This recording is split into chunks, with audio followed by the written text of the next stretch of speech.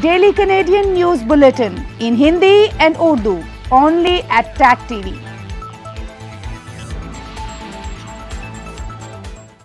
Canadian حکومت کا corona virus سے متاثرہ ملازمین کی مالی مدد کا فیصلہ ملک بھر میں کیسز کی تعداد ستانوے ہو گئی نو افراد اب تک صحتیاب ہو چکے ہیں کوئبیک حکومت نے اپنے سال دو ہزار بیس اور اکیس کا بجٹ پیش کر دیا۔ وزیر خزانہ کا کہنا تھا کہ عوام کے مالی طور پر مضبوط ہونے کے سبب صوبے کی معیشت آنے والے بحرانوں سے نبٹنے کی صلاحیت رکھتی ہے۔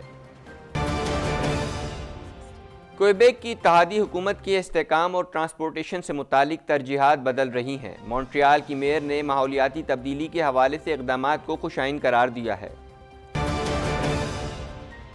جی ٹی اے میں گیس پرائسز میں راتوں رات ڈرامائی انداز میں اچانک کمی، گیس کی قیمتوں میں یہ کمی، عالمی منڈی میں تیل کی قیمتوں میں کمی کے بعد سامنے آئی ہے۔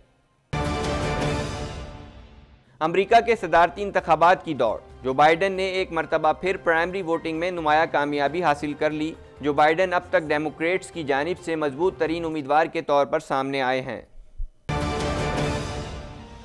امریکہ ہتھیار فروخت کرنے والا سب سے بڑا اور بھارت ہتھیار خریدنے والا دوسرا بڑا ملک بن گیا۔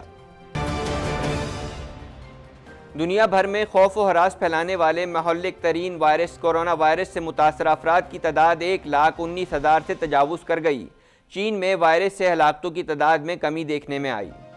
ہیڈ لائنز آپ نے جانی اور اب خبریں تفصیل کے ساتھ۔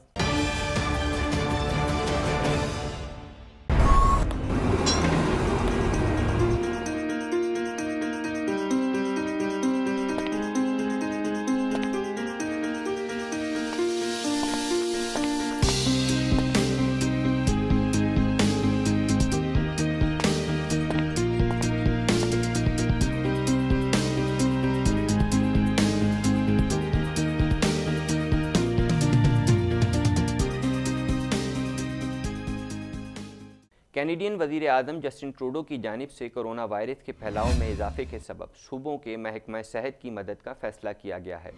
ان ملازمین کو مالی مدد دی جائے گی جو کرونا وائرس کے سبب آئسولیشن میں جانے پر مجبور ہوئے۔ مزید جانتے ہیں اس رپورٹ میں۔ کینیڈین وزیر اعظم جسٹن ٹروڈو کی جانب سے کرونا وائرس کے پھیلاؤ میں اضافے کے سبب صوبوں کے محکمہ صحت کی مدد کا فیصلہ کیا گیا ہے۔ ان ملازمین کو مالی مدد دی جائے گی جو کرونا وائرس کے سبب آئسولیشن میں جانے پر مجبور ہوئے۔ کینیڈین میڈیا کے مطابق اس نئے اقدام کا مقصد وائرس کے پھیلاؤ کو روکنا اور وائرس سے متاثر ہونے والوں کی مالی مدد کرنا ہے۔ کاروباری اور مزدور گروپوں نے وفاقی حکومت سے مطالبہ کیا ہے کہ وائرس کے سبب کام سے چھٹی لینے والے افراد کے لیے امپلائمنٹ انشورنس میں نرمی کریں۔ دو روز قبل وزیر خزانہ بل مورنیو کی جانب سے بھی کہا گیا تھا کہ حکومت ملازمین اور صوبائی محکمہ صحت کی مدد کے لیے رواں ہفتے اہم اقدامات کرنے جا رہی ہے۔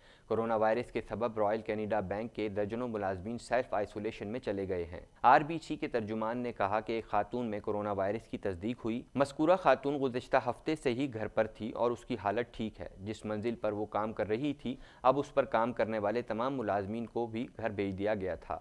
واضح رہے کہ کینیڈا میں کرونا وائرس کے مزید تین کیسز سامنے آنے کے بعد متاثرہ افراد کی تعداد ستانوے ہو گئی ہے، جن میں سے نو اب تک صحتیاب ہو چکے ہیں۔ اونٹیریو کے شہر سٹ بری میں کرونا وائرس کا ایک اور کیس سامنے آنے کے بعد صوبے میں کیسز کی تعداد سینتیس ہو گئی ہے۔ ماہرین کی جانب سے ٹورنٹو کے حکام کو متنبع کیا گیا ہے کہ شہر میں بے گھر افراد میں کرونا وائرس پھیلنے کا خدشہ ہے۔ ماہرین کی جانب سے حکام سے اس سلسلے میں فوری اقدامات کرنے کا مطالبہ کیا گیا ہے۔ دوسری جانب ایئر کینیڈا نے اٹلی میں کرونا وائرس پھیلنے کے سبب اپنا فلائٹ آپریشن معطل کر دیا ہے۔ کوئبیک حکومت نے اپنے سال دو ہزار بیس اور اکیس کا بجٹ پیش کر دیا ہے، جس میں گرین اکنامی، تعلیم اور لوگوں کو معیاری خدمات فراہم کرنے پر توجہ دی گئی ہے۔ مزید جانتے ہیں اس رپورٹ میں۔ کوئبیک حکومت نے اپنے سال دو ہزار بیس اور اکیس کا بجٹ پیش کر دیا ہے۔ جس میں گرین اکنامی تعلیم اور لوگوں کو معیاری خدمات فراہم کرنے پر توجہ دی گئی ہے۔ میڈیا رپورٹس کے مطابق وزیر خزانہ ایرک شغاس نے متوازن بجٹ پیش کیا۔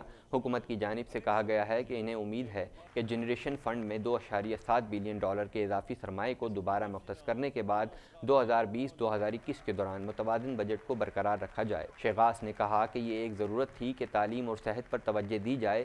ہم نے اپنا وعدہ پورا کیا ہے۔ وزیر خزانہ کا کہنا تھا کہ عوام کے مالی طور پر مضبوط ہونے کے سبب صوبے کی معیشت آنے والے بحرانوں سے نبٹنے کی صلاحیت رکھتی ہے۔ مونٹریال کی میئر نے کوئبیک حکومت کے فیصلے کو خوش آئین قرار دیا ہے، جس میں موسمیاتی تبدیلیوں کا مقابلہ کرنے کے لیے ایک اشاریہ تین بلین ڈالر کا وعدہ کیا ہے۔ مزید جانتے ہیں اس رپورٹ میں۔ مونٹریال کی میئر ویلیری پلون کی جانب سے کہا گیا ہے کہ کوئبیک حکومت کے نئے بجٹ سے لگتا ہے کہ اتحادی حکومت کی استحکام اور ٹرانسپورٹیشن سے متعلق ترجیحات بدل رہی ہیں۔ پلون کا کہنا تھا کہ اس سال کا بجٹ شاہراہوں اور عوامی آمد و رفت میں سرمایہ کاری کے مابین بہتر توازن پیدا کرتا ہے۔ اورنج لائن کی مغربی حصے میں شمال کی طرف وہ افرانگ تک توسیع کی گئی ہے، جس منصوبے میں حکومت نے انفراسٹرکچر کے بڑے منصوبوں کو دس سالہ منصوبے میں دو ہزار بیس سے دو ہزار تیس تک شامل کیا ہے۔ انہوں نے کوئبیک حکومت کے فیصلے کو خوشائن قرار دیا ہے، جس میں موسمیاتی تبدیلیوں کا مقابلہ کرنے کے لیے ایک اشاریہ تین بلین ڈالر کا وعدہ کیا ہے، جو بجلی سے چلنے والی گاڑیوں کے لیے استعمال کیا جائے گا۔ سستی توانائی کے حوالے سے کام کرنے والی ایک غیر نفع بخش تنظیم کی جانب سے اس ہفتے کے آغاز میں گیس پرائسز میں کمی کی پیش گوئی کی گئی تھی، جس میں دس سینٹ کی کمی کا کہا گیا تھا۔ اس حوالے سے مزید جانتے ہیں۔ جی ٹی اے میں گیس پرائسز میں راتوں رات ڈرامائی انداز میں اچانک کمی دیکھنے میں آئی ہے۔ میڈیا رپورٹس کے مطابق سستی توانائی کے حوالے سے کام کرنے والی ایک غیر نفع بخش تنظیم کی جانب سے اس ہفتے کے آغاز میں گیس پرائسز میں کمی کی پیش گوئی کی گئی تھی، جس میں دس سینٹ کی کمی کا کہا گیا تھا۔ این جی او کے صدر کی جانب سے کہا گیا ہے کہ ٹورنٹو میں کچھ اسٹیشنز پر گیس کی قیمتیں پچاسی اشاریہ نو سینٹ فی لیٹر ہیں۔ گیس کی قیمتوں میں کمی اپریل تک رہ سکتی ہیں۔ ان کا کہنا تھا کہ قیمتوں میں کمی اونٹیریو بھر میں ہو سکتی ہے۔ قیمتوں میں کمی صارفین کے لیے خوشخبری ہو سکتی ہے، لیکن معیشت کے لیے یہ خطرناک ہے۔ ماہرین کی جانب سے کہا گیا ہے کہ کینیڈا میں چند دنوں قبل ریل لائنوں کی بندش اور کرونا وائرس کے اثرات بھی معیشت کے لیے نقصان دہ ہیں۔ واضح رہے کہ گیس کی قیمتوں میں یہ کمی عالمی منڈی میں تیل کی قیمتوں میں کمی کے بعد سامنے آئی ہے۔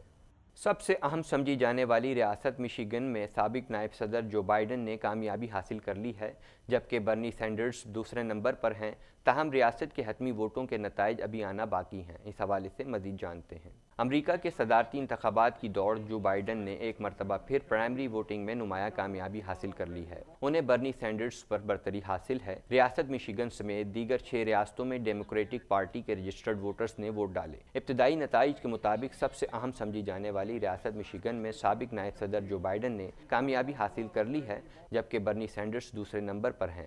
تاہم، ریاست کے حتمی ووٹوں کے نتائج ابھی آنا باقی ہیں۔ یاد رہے کہ ڈیموکریٹک پارٹی کے حتمی صدارتی امیدوار کا مقابلہ رواں برس تین نومبر کو ریپبلکن پارٹی کے صدر ڈونلڈ ٹرمپ کے ساتھ ہوگا۔ صدارتی نامزدگی کی دوڑ میں شامل جو بائیڈن اب تک ڈیموکریٹس کی جانب سے مضبوط ترین امیدوار کے طور پر سامنے آئے ہیں، دوسری جانب کرونا وائرس امریکہ میں صدارتی انتخابات کی مہم پر اثر انداز ہو گیا۔ ڈیموکریٹ پارٹی کے صدارتی امیدوار بننے کے خواہش مند، جو بائیڈن اور برنی سینڈرز نے کلیب لینڈ میں اپنی انتخابی مہم منسوخ کر دی۔ برنی سینڈرز اور جو بائیڈن کو ریاست اوہائیو میں انتخابی مہم کے سلسلے میں تقاریب سے خطاب کرنا تھا، مگر حکام نے ہدایت کی تھی کہ کرونا وائرس کے سبب اجتماعات سے گریز کیا جائے۔ کرونا وائرس کے سبب پرائمری سیزن میں یہ پہلی تقاریب ہیں جو منسوخ کی گئی ہیں۔ ہتھیاروں کی خرید و فروخت پر جاری کی جانے والی نئی رپورٹ میں کہا ہے کہ دنیا بھر میں ہتھیاروں کی برآمدات میں ساڑھے پانچ فیصد اضافہ ہو گیا ہے۔ اس حوالے سے مزید جانتے ہیں۔ دنیا بھر میں ہتھیاروں کی برآمدات میں ساڑھے پانچ فیصد اضافہ ہو گیا۔ امریکہ ہتھیار فروغ کرنے والا سب سے بڑا اور بھارت ہتھیار خریدنے والا دوسرا بڑا ملک بن گیا۔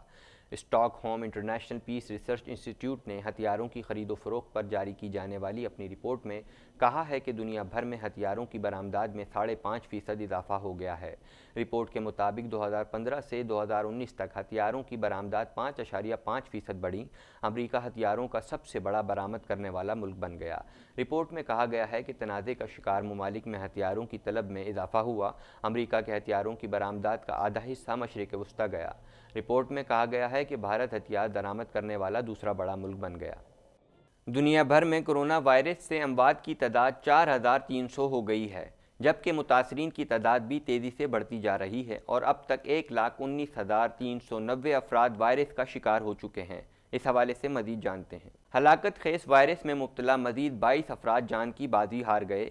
دوسری طرف چین نے گزشتہ روز پانچ سو اٹھتر مریضوں کو صحتیابی کے بعد اسپتالوں سے ڈسچارج کیا۔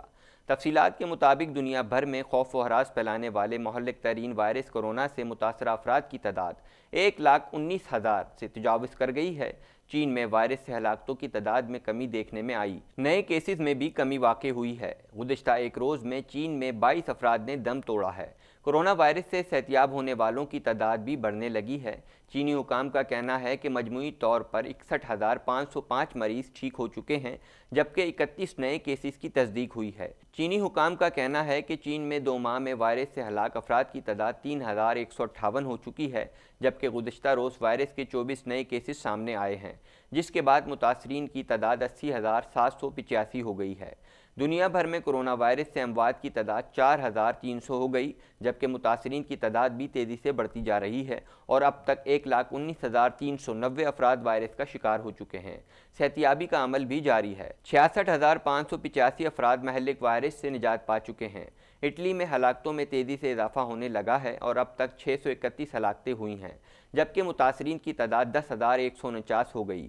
یورپی ملک اٹلی میں بڑے پیمانے پر لاک ڈاؤن بھی کر دیا گیا ہے۔ تقریباً چھ کروڑ لوگ لاک ڈاؤن کر دیے گئے ہیں۔ اٹلی میں تین اپریل تک تمام تعلیمی اداروں کو بند کیا جا چکا ہے۔ ہلاکتوں میں اٹلی دوسرے نمبر پر آ گیا ہے۔ اطالوی وزیر اعظم نے چودہ صوبوں کو ریڈ زون قرار دے دیا ہے۔ ایران میں بھی دو سو اکیانوے افراد کورونا کے باعث جان سے جا چکے ہیں۔ مجموعی متاثرین کی تعداد آٹھ ہزار بیالیس ہو گئی ہے۔ جنوبی کوریا میں کورونا سے مزید آٹھ افراد ہلاک ہو گئے، جس کے بعد ہلاکتوں کی تعداد اکسٹھ تک پہنچ چکی ہے، جبکہ دو سو بیالیس نئے کیسز رپورٹ ہونے کے بعد متاثرہ افراد سات ہزار سات سو پچہتر ہو چکے ہیں۔ غیر ملکی خبر رساں ادارے کی رپورٹ کے مطابق، امریکہ میں بھی وائرس میں مبتلا اکتیس افراد ہلاک ہو گئے، جبکہ ریاست ہائے متحدہ امریکہ میں دس نئے کیسز کی تصدیق کے بعد متاثرہ مریضوں کی مجموعی تعداد ایک ہزار دس ہو گئی ہے اب تک کے لیے اتنا ہی، مزید خبروں اور اپڈیٹس کے لیے دیکھتے رہیے ٹیک ٹی وی